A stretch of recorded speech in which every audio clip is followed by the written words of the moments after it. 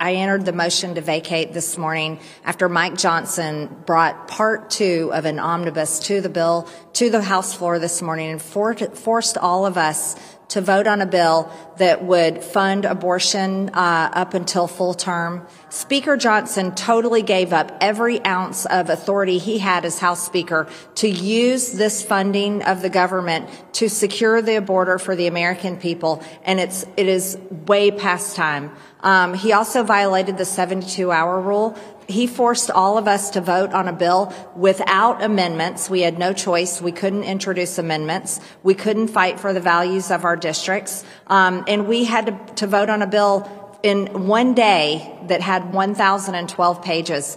But we cannot uh, move forward having a Republican Speaker of the House that is doing the bidding of Democrats, that is allowing Chuck Schumer to drive our legislation. Don't you worry that you're basically pushing him or, or any new speaker into the arms of Democrats? Because, like, at a certain He's point, already in the arms of Democrats, and the, it's it's proof in the vote count today. And I do not wish to inflict pain on our conference and to throw the, throw the House in chaos. But this is basically a warning, and it's time for us to go through through the process, take our time, and find a new Speaker of the House that will stand with Republicans and our Republican majority instead of standing with the Democrats.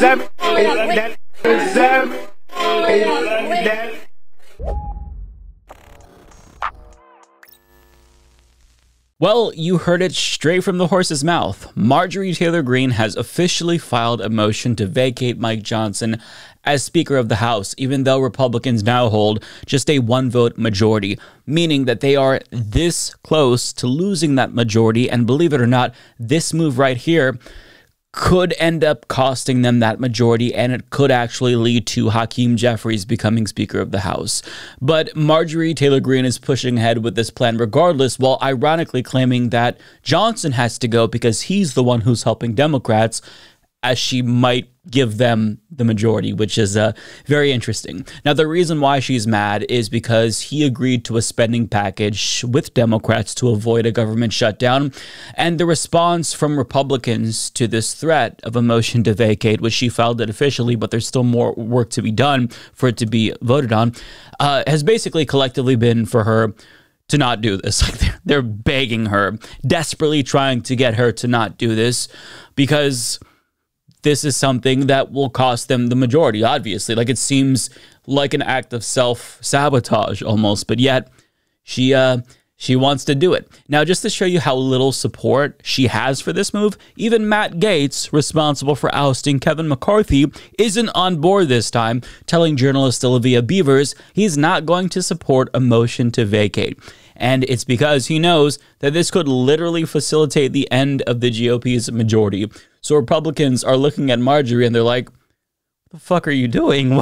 Why would you do this? This is a gift to Democrats. But just to show you how unreasonable she's being, she attacked Mike Johnson for saying nice things about a Republican who's retiring from Congress. I mean, I don't know what she expects him to say, but nonetheless, listen to what she says. Speaker Johnson has also failed our majority because he is allowing Mike Gallagher to leave Congress after the deadline date, where his district cannot hold a special election and elect a new representative for the rest of this entire Congress.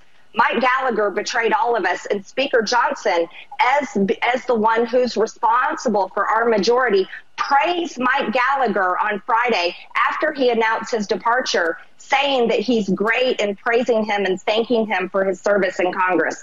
Speaker Johnson should be forcing Mike Gallagher to leave early so that his district can hold a special election. And any strong Republican Speaker of the House would expel a member for leaving our razor thin majority in such a delicate, delicate state. Now, to be fair to her, it is really shitty of him to retire after the deadline for a special election. But counterpoint, it's also very hilarious because this actually really does fuck over the GOP. And anything that hinders their ability to harm people is, I think, good and also funny because the outcome here is just undeniably hilarious, unintentionally so. But what I love even more is this idea that Johnson would expel a Republican who is already retiring. I understand the logic behind this recommendation that she's making, but of course, Johnson isn't even going to entertain the idea because why would he? It'd make them look even more unhinged and unreasonable than they already are. But regardless, her crusade against Mike Johnson is not sitting well with other Republicans, and as a result, the claws are out for her. Now, I think that what they're doing is trying to dissuade her from making this motion to vacate privileged, which means that they'd have two days to begin the process to vacate Johnson as Speaker. And this probably wouldn't happen until a couple of weeks when they're back from their Easter break. But she filed the motion to vacate, and what she has to do now is make it privileged. They're trying to scream at her from the rooftops don't you fucking dare please. But they have to walk a fine line because they know that if they're a little bit too aggressive, they could push her uh, push her over the edge and piss her off. But there are some Republicans who are being pretty aggressive. So here's some tea from a Fox News reporter about what the chair of the Freedom Caucus had to say about Marjorie Taylor Greene and specifically this motion to vacate.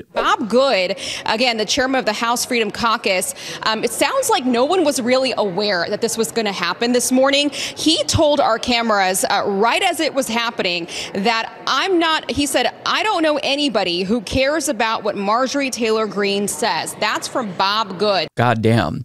Look, this isn't necessarily surprising since she was kicked out of the Freedom Caucus last July, but still, that is a pretty harsh thing to say about one of his own GOP colleagues. But I mean, it is undeniably based, I'll give you that. Now, other Republicans who also don't like Mike Johnson's willingness to compromise with Democrats tried to more gently explain to her how this is basically the worst idea ever and it's just a huge gift to Democrats. Uh, there are a couple that I'm not going to play for you, but one was Clay Higgins, who isn't necessarily in that camp. Like he actually does vehemently support Mike Johnson, but he doesn't hate Marjorie Greene and he views her as a friend. And he posted this video to Twitter to kind of reach out to her and say, Hey, bestie, for the love of God, please don't do this. I consider Marjorie Taylor Greene to be my friend. She's still my friend, but she just made a big mistake.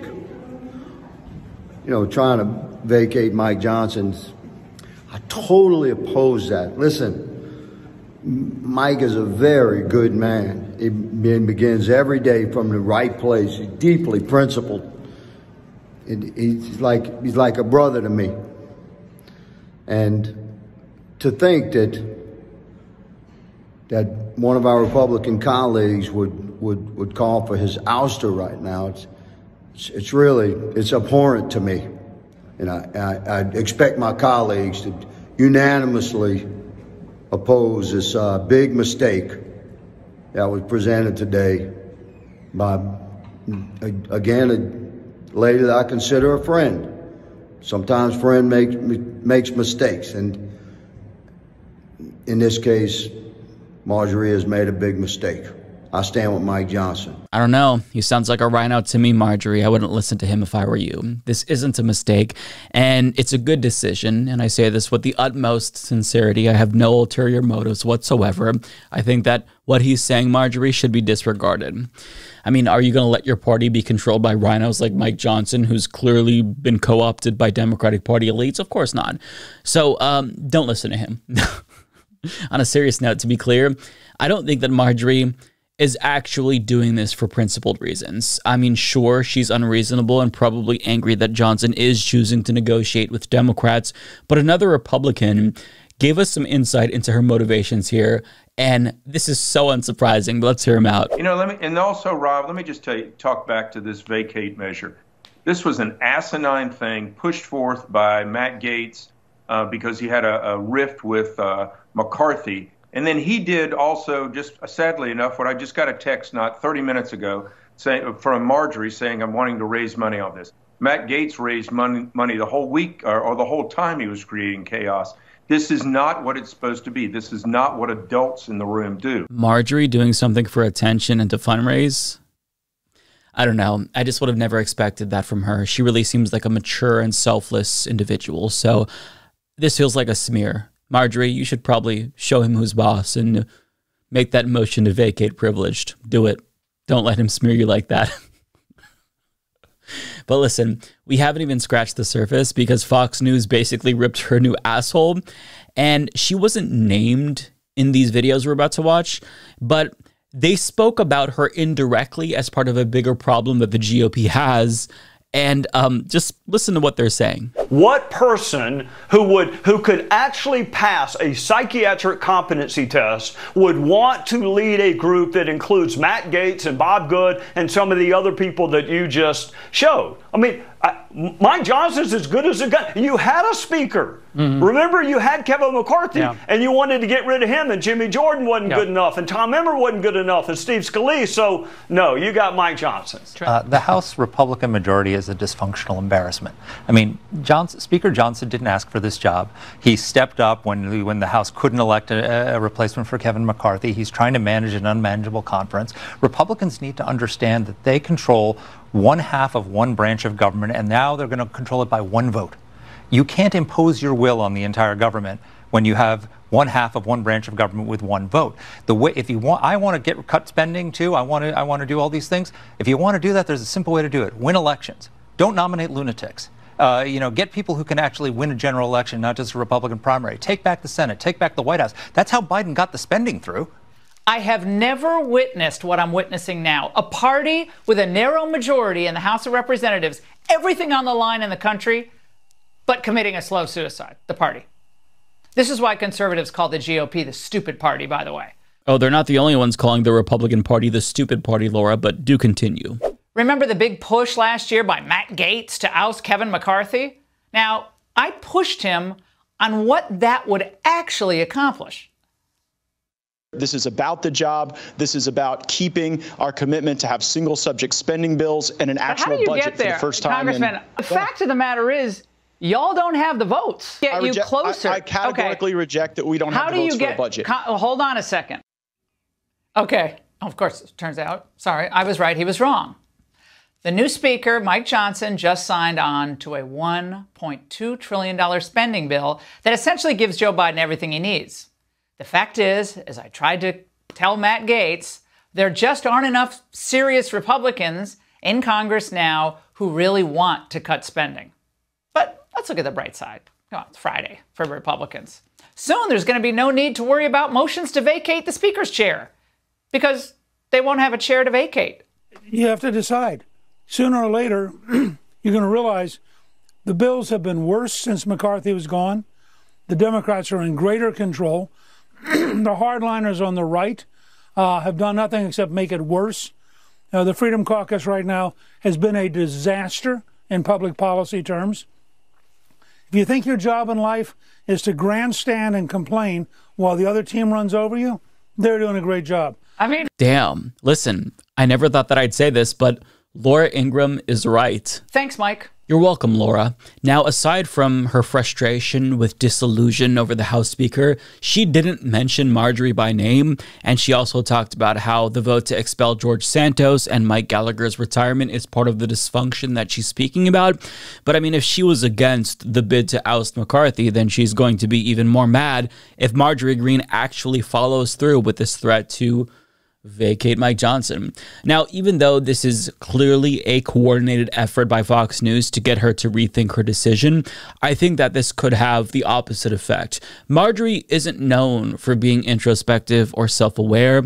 She is a carnival barker who doubles down and never admits that she's wrong. And I think that that's why they were talking around her using kid gloves, not specifically mentioning her by name, because they know that if they piss her off, I mean, that could put her over the edge, as I mentioned earlier. So I'm going to end with a message specifically to Marjorie Taylor Greene. And this is just for her. So if you're not Marjorie, please feel free to exit the video. Marjorie, let's give him a couple of moments. Okay. All right. So I'm assuming that it's just Marjorie Taylor Greene who's here. And this message is uh, for you, Marjorie. Bestie, do it. As a longtime fan of yours, I think that ousting Mike Johnson is God's will. Listen, you need to listen to your heart. And Jesus put this thought into your head. He told you to file that motion to vacate. And in this life, we follow Christ, not rhino Republicans doing the bidding of these Satan worshiping Democrats. So trust your gut and more importantly, listen to God because he's in your heart. He told you to file this motion to vacate. So you do it, Queen. You bring that motion to vacate to a vote because there's absolutely no way this could backfire. I promise you. Ignore the naysayers. Follow your heart, Marjorie. file the motion. Get rid of Mike Johnson. He's a rhino. It's what Jesus would want. There's glows, Mama. you see them all the time. I mean, it's constant. Mama. My children will be like, Mama, glow, glow, glow, glow. I turn on. TV, there's glows in the background. Every TV show, news media, why? Glow, glow, glow, glow, glow, glow. They're everywhere. Glow, glow, glow, glow, glow, glow, glow, glow, glow, glow, glow, glow, glow.